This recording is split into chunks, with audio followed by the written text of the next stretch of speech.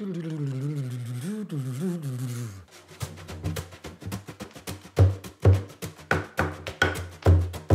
I've millions of little skills and little tricks and tips and blah blah blah, and I'm willing to share them all.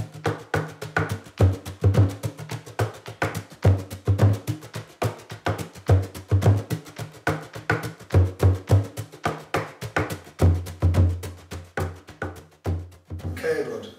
If we Oscar, you put it in under your uh, under your ribs. It's called the Oscar. Under your ribs, you get your hand in behind it. Crucial detail. This part of your hand holding it here, only you tuck it in, tuck it in and get this a hold in there, boom, alright? Use your hand, this kind of thing, floppy hand, down up. Kind of just banging this part. Now there's loads of people who do different things and just for starters,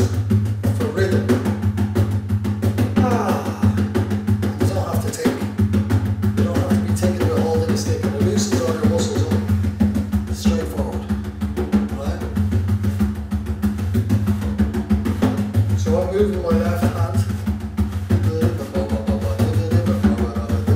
Off. Do you know what I mean? Kind of straightforward. That's with my hand flat. That's a little whispery noise. If I bring it up. Now when you're playing, you have your left hand, you're playing this section. What you're doing is you're closing the barrel on off here. Closing off here. And you're closing off here. You see what I mean? So you're always playing just above your left hand.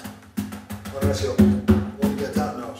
So then with a stick, you see I generally stay off the stick for ages. So that's the crack, or a jig. It's actually just a stick with that.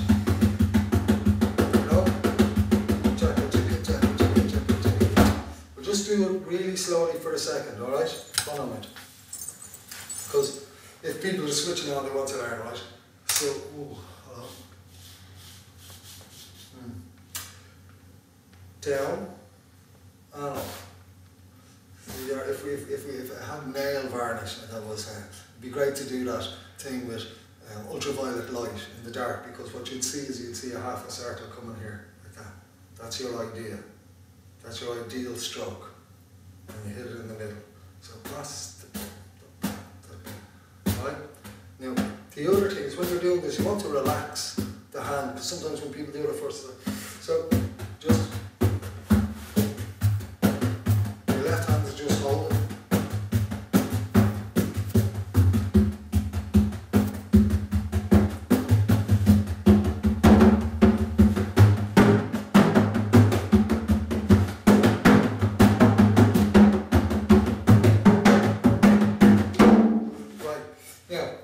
that's, I suppose you have to do that on your own.